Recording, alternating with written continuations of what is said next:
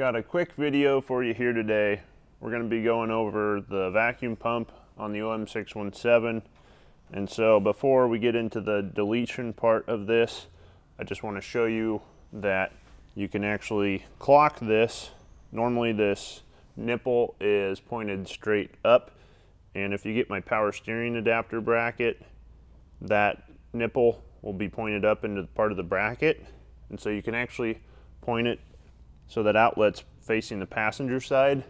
Now, if you're curious what this nipple I have going on here is, this is actually an aftermarket unit. I'll drop the link below, but it's a compression style fitting. It's got a 3 8 hose barb fitting. And you don't actually even have to buy this if you still have the parts off your car. This fitting is actually on the end of the hard line that uh, routes up to the the vinyl hose that goes to your brake booster. So if you still have your your hard line and everything attached, that fitting will be on the end. If you don't, I'll drop the link below so you can find that. So if clocking the pump doesn't work for you, then you might need to delete it. Another reason for deleting it might be because you just don't like the fact that when this vacuum pump fails, it could release a bunch of ball bearings into the engine which could cause catastrophic engine failure. I apologize for the background noise. There's 50 mile an hour wind here today and there's really no getting around the howling of the wind, so please bear with me. The other reason you might want to delete the vacuum pump is simply because you want the, the space up front for your swap um, to clear your radiator. And lastly, when you delete it, you have to obviously go to some other form of vacuum um, for your brakes unless you're running Hydro Boost. If you're running Hydro Boost off your power steering pump, then you don't have to run vacuum necessarily other than to shut the engine off, but you can do that electronically. Um, if you want to run electric vacuum, then there's a good Audi part number from Hella. I'll drop that in the description below. And basically with that pump, uh, enough people have tried it and said they had plenty of vacuum to run their brakes and then obviously the little amount required to kill the injection pump.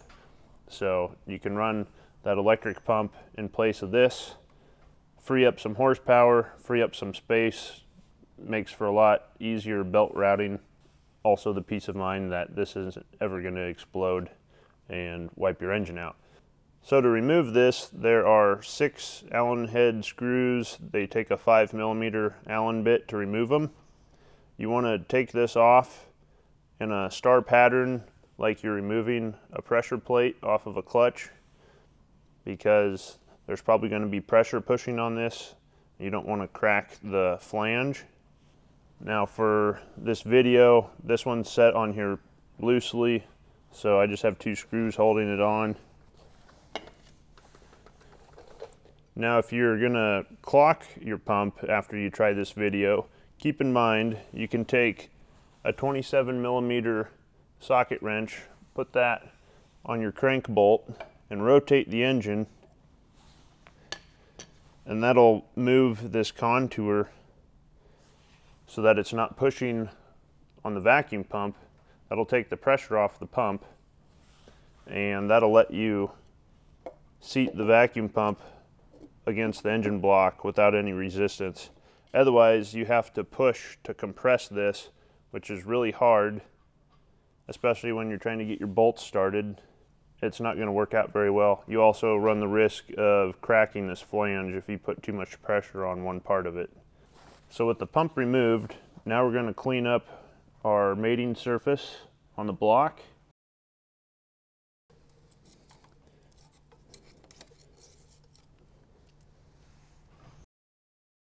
Then clean it really well with some brake parts cleaner. Now supposedly this bolt that protrudes out, there's this washer underneath this bolt.